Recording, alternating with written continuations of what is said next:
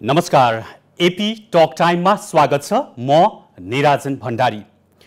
नेपाली कङ्ग्रेसको चौधौँ महाधिवेशन चलिरहेको छ र महाधिवेशनबाट नयाँ नेतृत्वको लागि मनोनयन पनि सकिएको छ र नेपाली कङ्ग्रेसलाई नयाँ गति दिन नयाँ दिशा दिन र नेपाली कङ्ग्रेसलाई गतिशील बनाउनको लागि धेरै व्यक्तिहरू यतिखेर चुनावी प्रतिस्पर्धामा हुनुहुन्छ भन्दा पनि पछि फरक पर्दैन। आज हामी कार्यक्रममा नेपाली कङ्ग्रेसको चौधौँ महाधिवेशनलाई नै केन्द्रित गरेर कुराकानी गर्छौँ र कुराकानीको लागि आज हामीसँग हुनुहुन्छ। हुन त उहाँ राजनैतिक व्यक्तित्व भन्दा पनि उद्योगपतिको रूपमा चिनिनुहुन्छ। नेपाललाई चिनाउने धेरै कुराहरू छन्। त्यसमध्ये नेपालको उद्योगपति भनेर चिनाउनु पर्दा विश्व मानचित्रमा विश्वभरका नेपालीले एउटै मात्र नाम लिने गर्छन् विनोद चौधरी। उहाँको आफ्नै प्रकारको विशेषताहरू रहेको छ। व्यापारी क्षेत्रमा व्यापारिक क्षेत्रमा उद्योगको क्षेत्रमा उहाँको योगदान अतुलनीय छ। त्यो आज हामी त्यति धेरै कुराकानी गर्दैनौँ। र त्यो सँगसँगै उहाँ राजनैतिक क्षेत्रमा पनि लाग्नु भएको छ। र यसपटकको चौधौँ महाधिवेशन कङ्ग्रेसको चौधौँ महाधिवेशनमा उहाँले नेपाली कङ्ग्रेसको केन्द्रीय सदस्यको उम्मेदवारी दिइसक्नु भएको छ। यो मधेसी कोटाबाट दिनुभएको छ। यति ठुलो उद्योगपतिलाई राजनीतितिर किन रुचि र यो उम्मेदवारी किन? यी विविध विषयमा आज हामी कुराकानी गर्छौँ। स्वागत छ सर। धन्यवाद भण्डारीजी।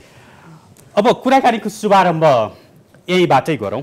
तपाईँको आफ्नै प्रकारको विशेषता छ नाम छ पहिचान छ अनि संसारभरका नेपालीहरूलाई हेर्नुपर्दा तपाईँको नाम अग्र स्थानमा आउँछ होइन? तर पनि यो पार्टीगत राजनीतिमा चाहिँ यति सब चिज हुँदाहुँदै तपाईँको आकर्षण किन र यो उम्मेदवारी किन दिइरहनु भएको छ? हेर्नुहोस् मैले सानै उमेरदेखि सधैँ नै मतलब अलिक ठुलै सपना देखेँ। हजुर मलाई लाग्छ कि त्यही सपनाको परिणति चौधरी ग्रुप बन्यो। नेपालमै एउटा एउटा अत्यन्त प्रतिष्ठित एउटा कर्पोरेट कल्चर भएको अर्गनाइजेसन बन्नुपर्छ भन्ने मेरो मान्यता रह्यो साधारण पृष्ठभूमिमा म जन्मिएको मान्छे। बस साधारण बस चढेर एउटा सामुदायिक स्कुलमा म पढेको मान्छे।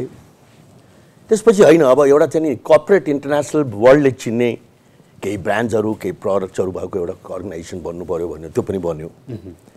अलिकति उद्यमी व्यवसायी र स्टेक होल्डर्सहरूलाई प्रोफेसनल्सलाई हेर्ने जुन एउटा आम मानसिक मानसिकता छ दृष्टिकोण छ त्यसमा एउटा चेन्ज आउनु पर्दछ विश्वमा चेन्ज आइरहेको छ। भन्ने मान्यतालाई बोकेर म उद्योग वाणिज्य महासङ्घको अध्यक्ष बने। त्यसको माध्यमबाट मैले चाहिँ नि यो होल वर्गकै प्रतिष्ठाको स्वाभिमानको लडाइँ लडेँ सिएनआई बनाएँ आदि इत्यादि। जीवनभर म कुनै न कुनै रूपबाट म चाहिँ एउटा पब्लिक लाइफमा संलग्न नै रहेँ। संविधान सभा आयो। संविधान सभामा पनि मतलब के भने हरेक वर्गका हरेक पेसाका मानिसहरूको उपस्थिति हुनुपर्छ ताकि एउटा सन्तुलित संविधान लेख्न सकियोस्। त्यहाँ म पुगेँ। त्यहाँ पुगेँ म मात्रै होइन अरू पनि पन्ध्र सोह्रजना हामी व्यावसायिकका क्षेत्रका मान्छेहरू पुग्यौँ। आज म चाहिँ प्रतिनिधि सभामा नेपाली कङ्ग्रेसको तर्फबाट छु।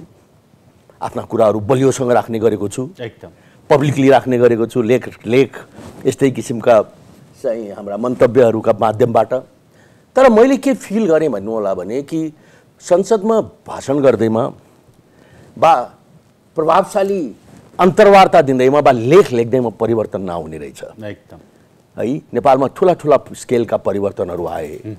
तर ती परिवर्तनहरूले देशलाई चाहिँ देशको आर्थिक रूपान्तरण चाहिँ गर्न सकेन।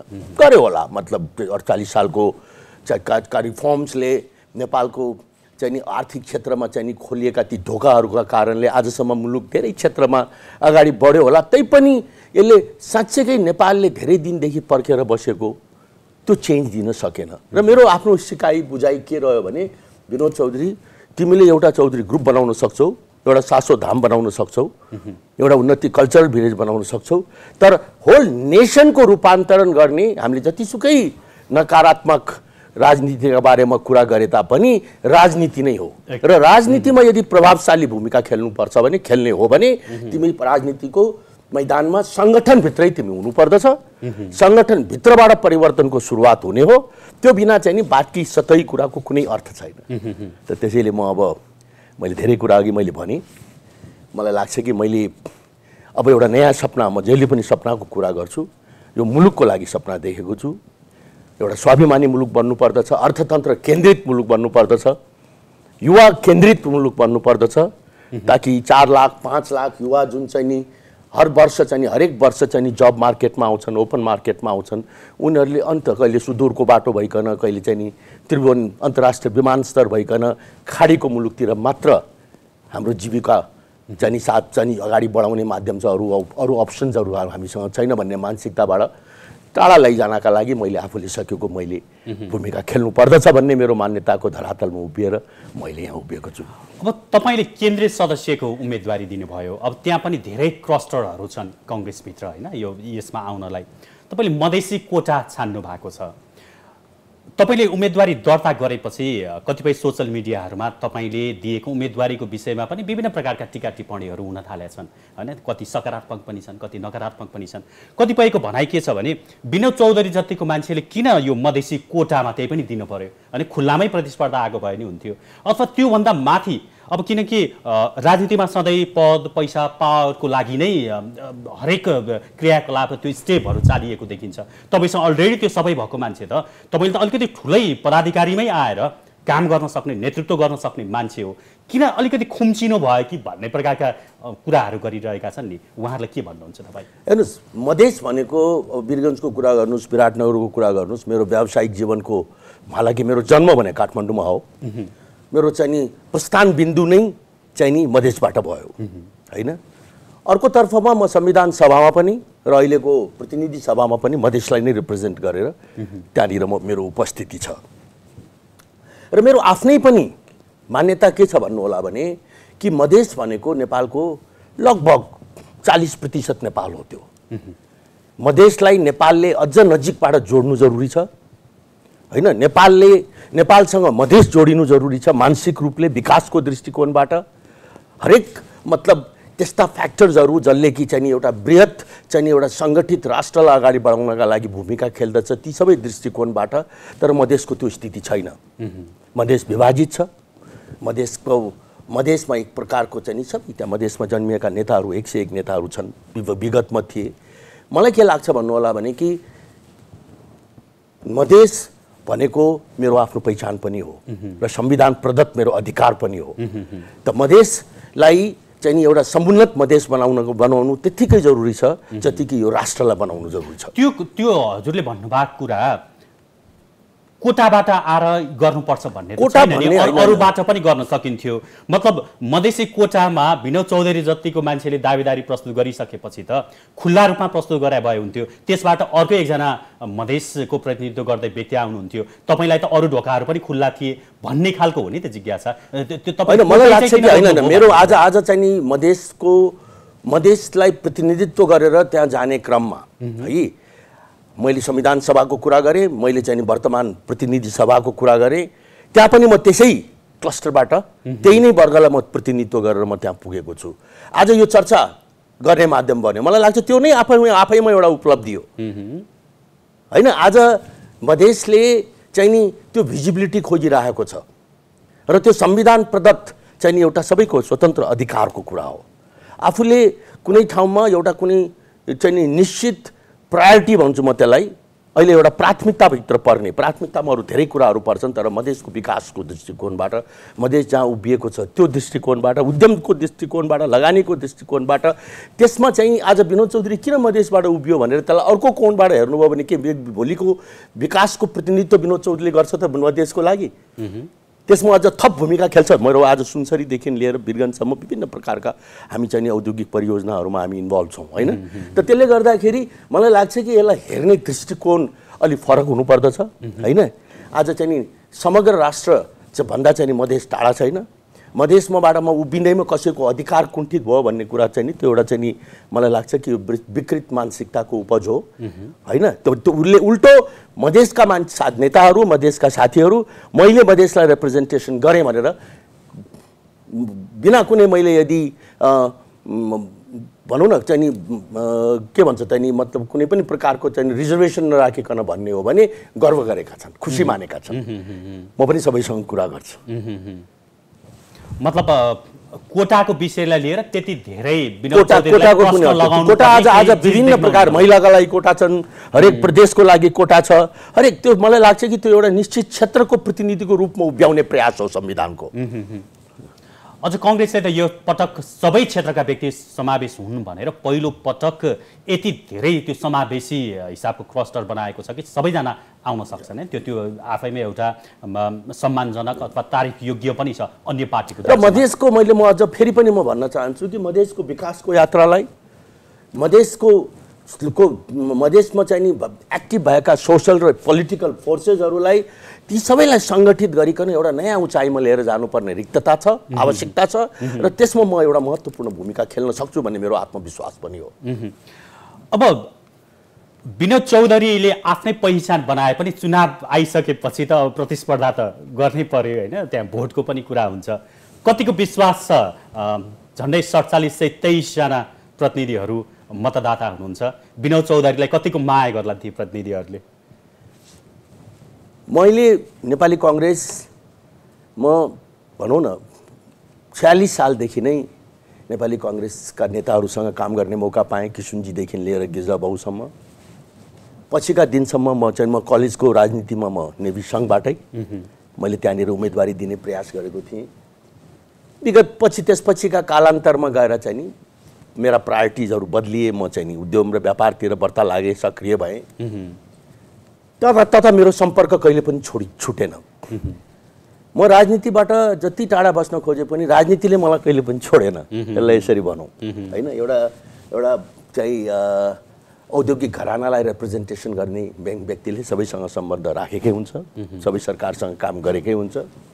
त मैले थुप्रै इष्टमित्र र स- चाहिँ नि यो सकारात्मक सोच भएका मान्छे जसले विकासलाई मैले अघि पनि भने विकासलाई चाहिँ नि केन्द्रबिन्दुमा राख्छन्।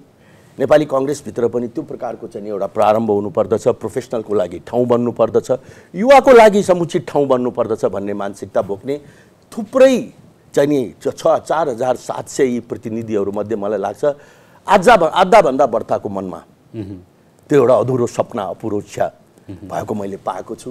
म त्यो सोचलाई रिप्रेजेन्ट गर्छु जस्तो मलाई लाग्छ।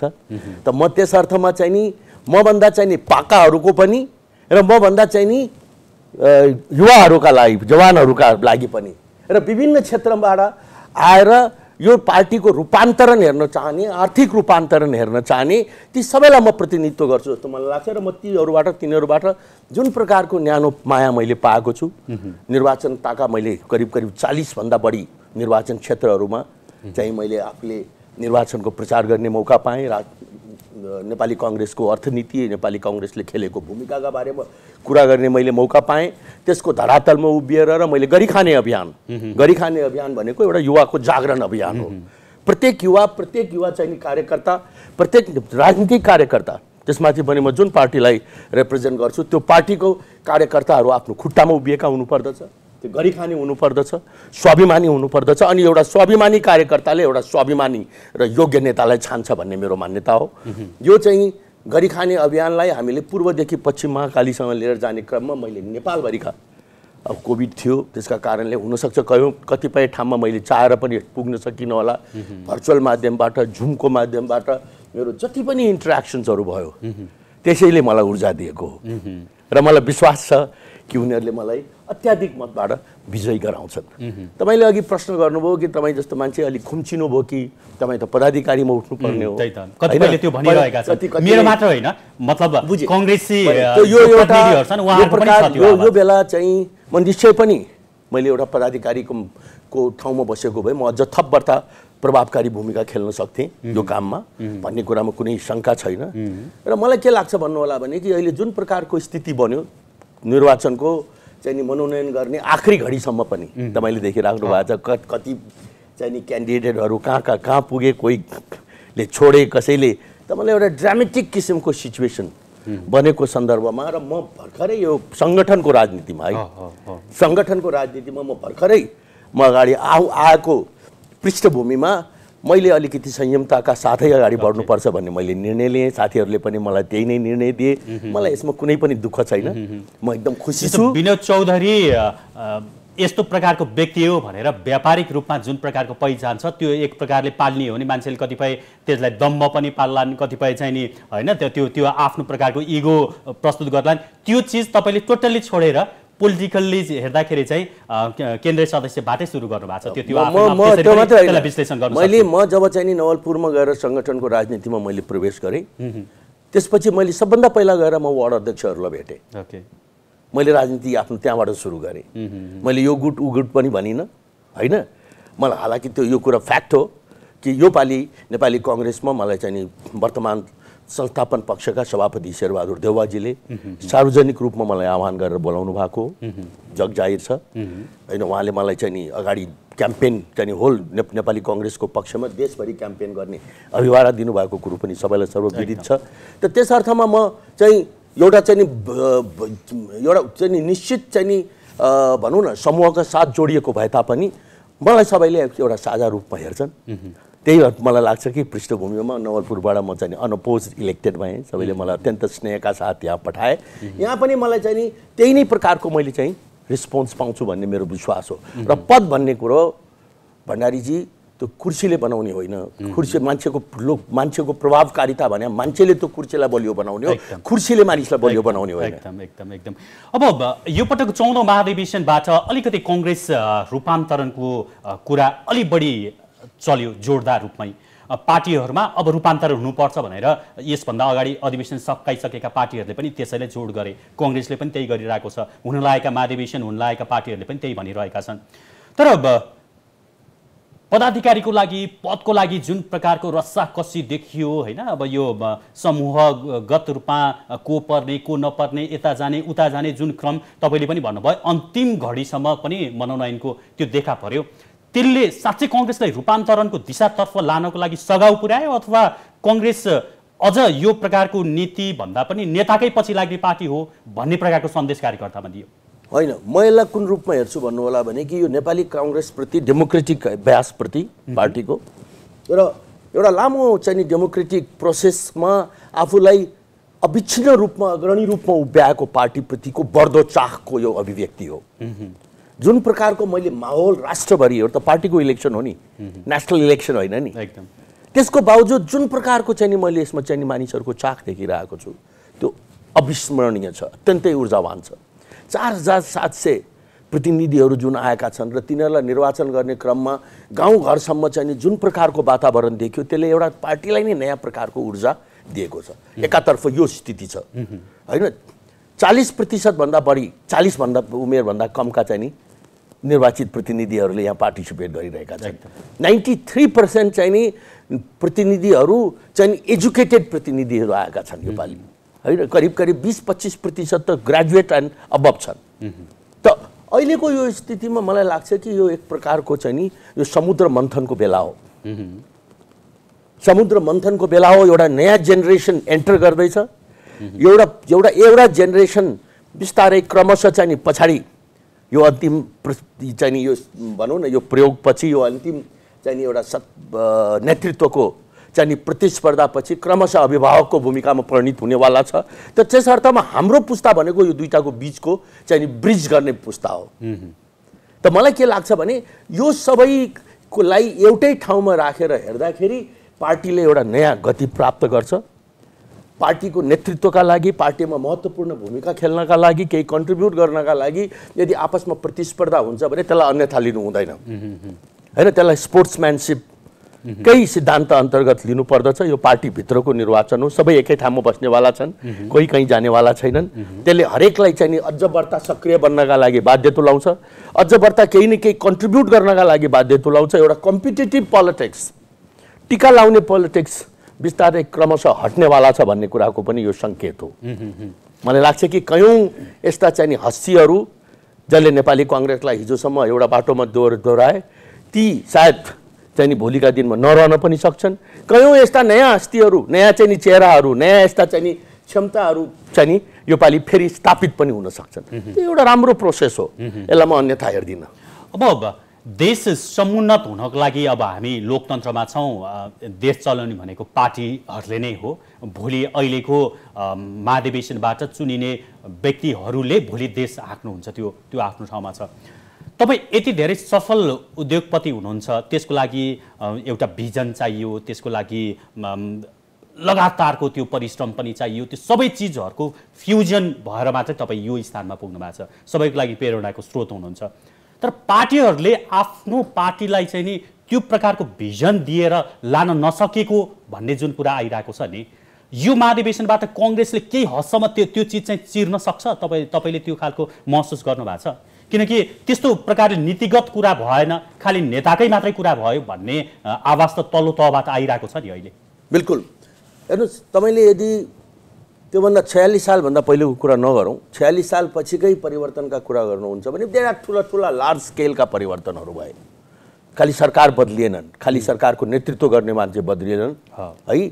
धेरै प्रकारका नयाँ चाहिँ नि किसिमका चाहिँ नि कोएलिसन्सहरू प्रयोगहरू होइन सशस्त्र द्वन्द लगायत चाहिँ नि राज संस्थाको अवसान लगायत विभिन्न प्रकारका चाहिँ नि भए। तर देश बनेन। मैले अघि पनि भने वा देशले जुन साउथ एसियाको आज बङ्गलादेशकै कुरा गरौँ धेरै टाढा नजाउँ। होइन? त भारत त आज झन् एउटाको विश्वकै एउटा शक्ति बनिसकेको छ होइन? त यसको पछाडिको कारणलाई यदि तपाईँले विश्लेषण गर्नुभयो भने जुन कुरो म जहिले पनि भन्ने गरेको छु देश बन्नका लागि एउटा चाहिँ नि पोलिटिकल स्ट्रङ वेल र पोलिटिकल स्ट्रङ चाहिँ नि चाहिँ नि एउटा भिजन चाहिन्छ भने एउटा पोलिटिकल क्रेडिबिलिटी चाहिन्छ भने अर्कोतर्फ रिसोर्सको मोबिलाइजेसन र म्यानेजमेन्ट पनि चाहिन्छ। एकदम। है? आज भारतकै कुरो गरौँ यदि नरसिम्हा रावले मनमोहन सिंहलाई आइएमएफबाट बोलाएर जब भारत चाहिँ नि अलमोस्ट ब्याङ्क चाहिँ नि मतलब ब्यालेन्स अफ पेमेन्टको दृष्टिकोणबाट ब्याङ्क्रप्ट भइसकेको थियो सुन चाहिँ नि बन्दकी राखेर चाहिँ नि ब्रिटेनबाट चाहिँ नि आफ्नो ब्यालेन्स अफ पेमेन्ट चलाउने स्थितिमा पुगेको थियो। तपाईँ आउनुहोस् तपाईँले चाहिँ रिसोर्सको मोबिलाइजेसन गर्नुहोस् अर्थतन्त्रलाई बलियो बनाउनुहोस् राज्यलाई चाहिँ विकासको दृष्टिकोणमा अगाडि लिएर जानुहोस् राजनीति म चलाउँछु भन्ने चाहिँ उदारता देखाए। आज त्यो भारत जुन बेलामा एम्बेसडरको गाडीमा मात्र गुड्ने भारत आज भारत चाहिँ त्यहाँनि एक से एक मर्सिडिजदेखि बिएमडब्ल्यू एक्सपोर्ट गर्ने ठाउँमा पुगेको छ। त त्यसै गरिकन नेपालमा चाहिँ हामी होइन हामी जस्ता प्रोफेसनल्सहरू जो कि राजनीतिको माध्यमबाट एउटा बृहत सपना बोकेर केही गर्न चाहन्छौँ हामी चाहिँ नि ती सबै जेल नेल भोगेका पुरा चाहिँ नि राजनीतिक नेतृत्वहरूको पुरा सम्मान गर्छौँ। तिनीहरू बाहेक चाहिँ आज नेपाली कङ्ग्रेसको पार्टी यो ठाउँमा हुने थिएन। तर साथसाथै जो पनि भन्न चाहन्छौँ कि मुलुक बनाउनका लागि प्रोफेसनल्सहरूको चाहिँ नि एउटा चाहिँ बलियो उपस्थिति प्रोफेसनल्स भन्दाखेरि खालि उद्योगपति व्यापारी होइन त्यो डक्टर हुनसक्छ एउटा पत्रकार हुनसक्छ एउटा इन्जिनियर हुनसक्छ। तिनको एउटा बलियो उपस्थिति र दुईटाको बिचमा आपसी चाहिँ नि सद्भाव फ्युजनको शब्द तपाईँले प्रयोग गर्नुभयो। म साझेदारी भन्छु। त्यो साझेदारीबाट एउटाले चाहिँ नि देशको चाहिँ रिसोर्स मोबिलाइज गर्ने। आज हेर्नुहोस् त देशको विकासको बजेट हामी बजेट भएर पैसा भएर पनि बजेट खर्च गर्न सक्दैनौँ। होइन? त्यसले म्यानेजमेन्ट खोज्छ। आज आज निजी क्षेत्रले सञ्चालन गरेका चाहे त्यो चाहिँ शिक्षाको क्षेत्रमा होला हेल्थको सेक्टरमा होला चाहिँ एयरलाइनको सेक्टरमा होला जुनसुकै सेक्टरको कुरा गरौँ न आज चलाएको यही परिस्थितिमा चलाइरहेछ नि त। होइन? यही नेपाली व्यवस्थापनकै आधारमा चलिरहेछ नि त। हाम्रो कुरा गर्ने हो भने त त्यही नेपाली व्यवस्थापनले विश्वभरिका हाम्रा परियोजनाहरू चलाइरहेका छन्। म जतैभरि गर्व गर्ने गर्छु। त त्यस अर्थमा यो दुईटाको फ्युजन बिना चाहिँ नि रियल चाहिँ नि चेन्ज रियल डेभलपमेन्ट आउँदैन। र त्यसलाई चाहिँ नि नेताहरूले पनि अगाडि बढाउनु पर्दछ। नेताहरूको भूमिकालाई चाहिँ नि प्रोफेसनलले बिर्सिनु मिल्दैन। प्रोफेसनलले गर्न सक्ने योगदानलाई नेताहरूले बिर्सिनु मिल्दैन। एकदम। मलाई लाग्छ कि त्यो सोच चाहिँ नि बिस्तारै आउँदैछ र त्यसको लागि ठुलो दबाब बन्दैछ। म जहाँ जान्छु त्यही नै म यही नै प्रकारको सोचलाई प्रतिनिधित्व गर्ने मान्छेहरूको ठुलो जमातको उपस्थिति देख्छु। म म त्यसैबाट पनि प्रोत्साहित छु। अब जाँदा जाँदै अन्त्यमा अब यो केन्द्रीय सदस्यमा मधेसी कोटाबाट तपाईँले उम्मेदवारी दिनुभएको छ। अपार समर्थन तपाईँलाई छ। तपाईँले राम्रै मतले जित्नुहुन्छ भन्ने प्रक्षेपण पनि छ। त्यो आफ्नो ठाउँमा छँदैछ। अहिले समग्रमा देशको उद्योग व्यवसाय अर्थतन्त्र यो चिज त झन् तपाईँको त नसा नसामा छ होइन? यो चिजलाई त नजिकबाट निहालिरहनु भएको छ। नेपाल आर्थिक हिसाबले कतातिर गइरहेको छ?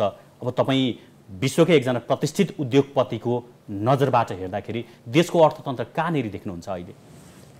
यसलाई यसरी भनौँ कि देश अहिले आर्थिक विकासको दृष्टिकोणबाट रोजगारीको दृष्टिकोणबाट नयाँ नयाँ योजनातर्फ रियल इन्भेस्टमेन्ट लगाइकन यहाँनिर चाहिँ यहाँको यो दा त्यसको दायरालाई फराकिलो बनाउने दृष्टिकोणबाट एउटा अलि मतलब के भने परिवर्तनको सङ्घारमा उभिएको छ। अलि अप्ठ्यारै परिस्थितिबाट गुज्रिरहेको छ। होइन?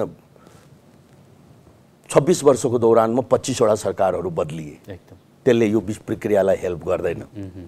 होइन दुई सरकार दुई तिहाईको सरकार पनि टिक्न सकेन। त हाम्रा विभिन्न प्रकारका चाहिँ भनौँ न पोलिटिकल जियो पोलिटिकल चाहिँ एउटा डिफिकल्ट सेन्सिटिभिटिजहरू एकातर्फ छन् भने हाम्रो भित्रकै राजनीतिभित्रको एक प्रकारको जटिलता अर्कोतर्फ छ। तर यो दुइटैको माझमा पनि अर्थतन्त्रलाई चाहिँ अगाडि लिएर जान सकिन्छ भन्ने मेरो मान्यता हो। जसरी कि मैले अघि यही चाहिँ विविधताका माझमा पनि कयौँ अर्गनाइजेसन्सहरूले आफूलाई अगाडि बढाएर लिएर गएको मैले दृष्टान्त दिएँ। अरू पनि विभिन्न इस्ट युरोपियन मुलुकका म इक्जाम्पल दिन सक्छु। पछि गएर चाहिँ नाइन एटिन नाइन्टिजको चाहिँ टाइगर्स एसियन टाइगर्स मात्र होइन म इन्डो चाइनाको भियतनाम क्याम्बोडिया लाओसको नि उदाहरण दिन सक्छु। त्यो गर्न सकिन्छ भन्ने मेरो मान्यता हो। र त्यो गर्नको लागि ढिलो भइसक्यो। नेपाली युवाले नेपालको चाहिँ नेपाल नेपालमा केही हुन्छ भन्ने कुराको विश्वासलाई जीवित राख्नका लागि तत्काल चाहिँ नि यहाँ यहाँका ती इस्युजहरू सबैले काम गर्न पाउने इस्युजहरू सबैले गरी खान पाउने इस्युजहरू हरेक चिजमा चाहिँ नि कुनै न कुनै प्रकारको अदृश्य चाहिँ नि छेकबार अप्ठ्यारोपनको सृजना भएको वातावरण जुन फिलेको फिल गर्ने त्यो उकुस मुकुसको जुन वातावरण छ त्यसबाट नेपाललाई उन्मुक्ति दिने चाहिँ नि मलाई लाग्छ कि ठुलो अभिभार नेपाली कङ्ग्रेसको काँधमा छ। यो एउटा राम्रो कुरा हो कि अहिले चाहिँ नेपाली कङ्ग्रेस एउटा नयाँ स्टेप नयाँ चाहिँ नि इतिहासको चाहिँ घडीमा उभिएको छ। आफ्नो सङ्गठनको दृष्टिकोणबाट त्यसपछि स्थानीय निर् निर्वाचन त्यसपछि नेसनल इलेक्सन मलाई लाग्छ कि यी सबै कुरालाई एड्रेस गर्नको लागि एउटा नयाँ सोच नयाँ युग चाहिँ नयाँ चाहिँ अर्थ केन्द्रित। म फेरि पनि जानुभन्दा अगाडि अर्थ केन्द्रित युवा केन्द्रित। होइन? नेपाली कङ्ग्रेस बन्नुपर्दछ र त्यसले त्यो भूमिका खेल्न सक्छ। हुन्छ हामी यो संवादलाई यहीँ टुङ्ग्याउँछौँ। तपाईँसँग अलिकति फरक खालको संवाद आज हामीले गऱ्यौँ किनकि फरक फरक खालको अवस्थामा तपाईँ उभिनु भएको छ हिजो मनोनयन दर्ता गरिसकेपछि। केन्द्रीय सदस्यको जुन उम्मेदवारी छ मधेसी कोटाबाट तपाईँलाई सफलता प्राप्त होस्। हाम्रो तर्फबाट धेरै धेरै शुभकामना। समय र यो तपाईँको अत्यन्तै व्यस्तताको बिचको जुन समय छ त्योबाट हामीलाई केही समय दिनुभएको छ। धेरै धन्यवाद दिन चाहन्छु म। धन्यवाद भण्डारीजी म यहाँले मलाई बोलाउनु भयो अत्यन्तै महत्त्वपूर्ण समयमा केही मेरा कुराहरू मैले सुनाउने मौका पाएँ। मेरा त्यस अर्थमा म सबैलाई चाहिँ तपाईँलाई धन्यवाद दिन चाहन्छु एपी वानलाई धन्यवाद दिन चाहन्छु र सबैलाई म आग्रह गर्न चाहन्छु कि यो एउटा परिवर्तनको घडी हो र यो परिवर्तनको घडीमा सबैले चाहिँ एउटा दूरगामी र अलिक फराकिलो सोच राखेर आफ्नो विवेकको प्रयोग गर्नुहुनेछ भन्ने मैले विश्वास लिएको छु। हुन्छ धन्यवाद। धन्यवाद। दर्शकमैले उहाँ हुनुहुन्थ्यो उद्योगपति एवं नेपाली कङ्ग्रेसको चौधौँ महाधिवेशनमा केन्द्रीय सदस्यको उम्मेद्वार मधेसी कोठाबाट दिनुभएका विनोद चौधरी। उहाँसँग हामीले राजनीतिमा उहाँको सक्रियता किन अपरिहार्य छ र उहाँको भावी योजनाहरू के छन् भन्ने लगायतका विषयमा कुराकानी गऱ्यौँ। यही कुराकानीसँगै आजको लागि एपी टक टाइमको समय सकिएको छ। हामी सबैलाई बिदा दिनुहोस्। नमस्कार।